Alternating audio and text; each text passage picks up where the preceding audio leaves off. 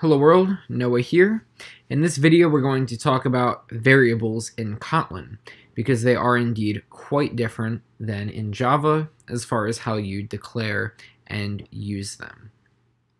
Now first of all in Java you're used to writing something like type name equals value. So for example something like string uh, name equals Noah like that. It's going to look a little bit different in Kotlin. The way that you'll do this is you'll write first the keyword val, then the name of your variable, then a colon, then the type of your variable, then an equal sign, and then the value. So to sort of write that out, you're going to write val name colon type equals value. That's how it looks. And at first glance, it might look a little bit confusing it might even look a little bit worse than Java, but give me a minute to explain some things and I think you'll come to appreciate it. So the first thing um, that we're going to note uh, is that the string has a uh, an underline and it's grayed out. And it tells us that this explicitly given type is redundant because Kotlin has a feature that a lot of other languages have, like, for example, Swift, which is called type inference. And basically that means that Kotlin is smart enough to look at the type of a value and figure out what that variable type should be. So for example, it looks at this and says, okay, this is very clearly a string, so name should certainly be a string value. And so what that allows me to do is actually get rid of the type because Kotlin is smart enough to figure out that name should in fact be a string. So this type is actually not required. The only time it's required is when you don't actually give a value. So you can either write val name colon type. So for example, I could say age is an int, but I don't give it a value yet. And then I could also just say something like val name equals Noah, and it's smart enough to figure out that that uh, name is supposed to be a, a variable or it's supposed to be a string type like that. Okay. We'll come back in just a second to the capital I in int, but before we get there, one thing that I need to note um, is that you can't actually change the value of this variable. You'll see that you'll get a red line there when I try to reassign it. And that's because when you declare something as a val, it's the Java, it's the Kotlin equivalent to declaring something as final in Java. So when you write val name equals value, that's the equivalent of writing final, uh, for example, final type name equals value. So you're essentially declaring it as final, which means that you're not allowed to reassign it. Now, if you want to be able to reassign the value, you'll change the val to a var. So, for example, you could use var here instead. Now, the reason why I started with val and not var is because you'll find when you're writing code uh, that very often there are variables uh, that you don't want to reassign. This is when you're writing, you know, bigger projects, um, you know, with a lot of code in them, and oftentimes you'll have uh, variables that are short-lived. Uh, they might just be holding some sort of a value, and you're not going to ever reassign them. You're just going to create them. They're going to hold a reference. You're going to use them a couple times maybe, and that's all that you're going to need them for. And so you'll find, and actually, that very often you don't need to reassign a value. And so in that case, you'll mark it as val. And the general idea in Kotlin is that you want to mark things as val unless you're definitely going to change them, in which case you would mark them as var.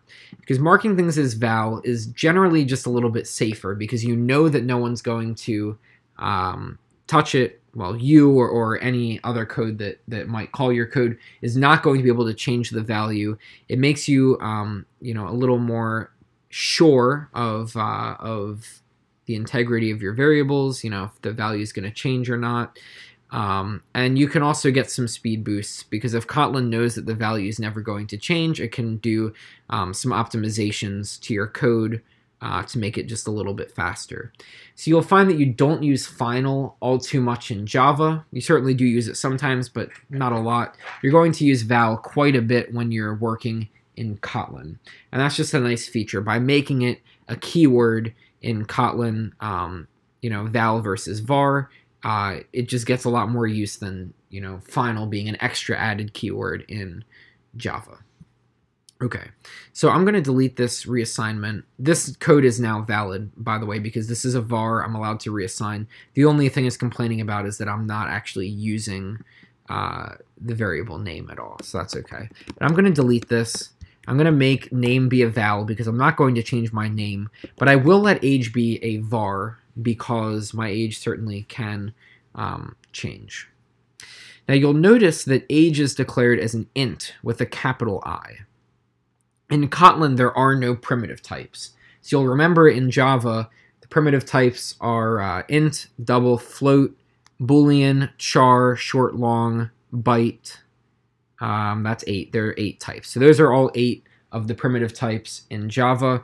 Those are the ones that you write with a lowercase letter. They get highlighted because they're reserved words.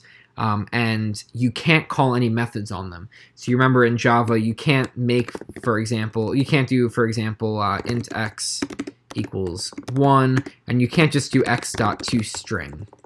Sorry, like that. You're not allowed to do that because x is a primitive type and you can't call a method on a primitive type. So you can't do that. And you also can't make an array list of type int in Java um, you would have to do, you know, integer. You'd have to use the wrapper class in that case.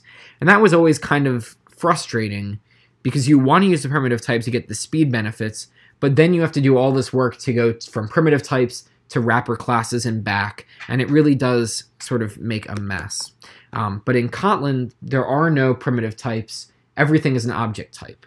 And the nice thing about that is that you get the speed benefits of a primitive type. So this is int, it's uh, still just as fast as a regular old int in Java, but you can actually call methods on it. So for example, I can call the toString method on this age variable. Now this is complaining because I haven't given age a value, um, but you know if I gave it a value, uh, you know then it would work of course.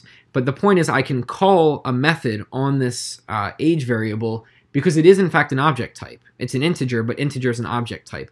And this lets you do something kind of funky because you can do 10, um, for example, let's say I could print out like 10 dot toString like that. And that looks really weird, um, but 10 um, is a literal, it's an integer literal, it's an integer value. And I can call methods on integer values, so I can actually do this. It's perfectly legal. Um, it just looks a little bit weird like that. Um, but essentially, the point is um, that there are no primitive types, and so you'll declare int with a capital I, double with capital D, char with capital C, so on and so forth. All of those get capital letters just like that, which is definitely um, you know a nice feature. And this is a var, so you know later on in the code, I'm going to say age equals 19, and I'm allowed to do that, of course, because it's a var, um, which is great and just complaining because I'm never changing the value of age. So maybe later on in the code, um, you know, I have a birthday and now I'm 20 years old. That's great. Um, okay. So uh, now at this point, just one last thing to mention about about variables, and that has to do with um, printing them out or combining them inside of strings.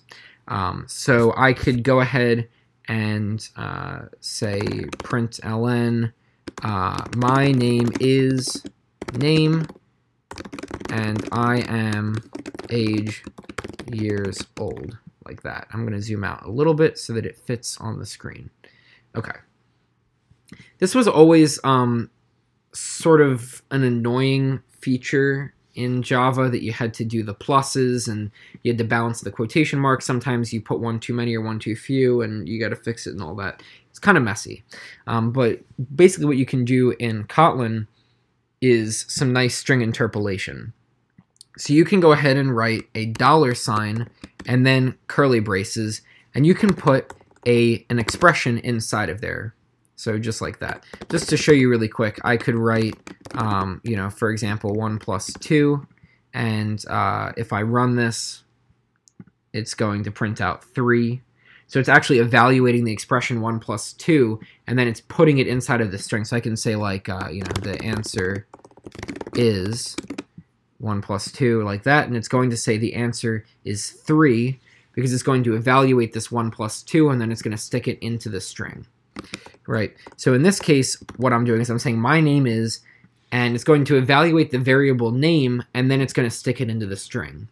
Another nice thing is that since this expression is really simple, it's just, uh, you know, a variable, just name, I can actually omit the curly braces and just use a dollar sign. And I can do the same thing over here. Um, I can say dollar sign age, just like that. So this code looks a lot cleaner, and with the syntax highlighting, it's very clear as to what exactly is happening. Um, but if I run this, you'll see it says my name is Noah, and I'm, well, it says 20 years old, but if I get rid of that, then it'll be more accurate, and it'll say 19 years old. Um, so that's great. But essentially, the point is that it's a lot nicer to do string interpolation to print, uh, you know, to use strings that have variables inside of them because you can use this dollar sign notation to stick them in very nicely. Now, one last thing, and this is a teaser um, for the next episode, but if I declare, um, you know, person, and person is going to be a string, and then later on in the code, I go ahead and assign person to be null, you'll notice that I get an error. And this is very weird because in Java, the equivalent code would work perfectly fine. Now, why is this? Next episode, we're going to talk about how null works in Kotlin because it's very different than in Java. Thanks for watching this video. As always, subscribe if you want to see more, comment with what you want to learn, and if you like this video, hit the like button. Continue on through the series, and I'll see you guys soon. Bye for now.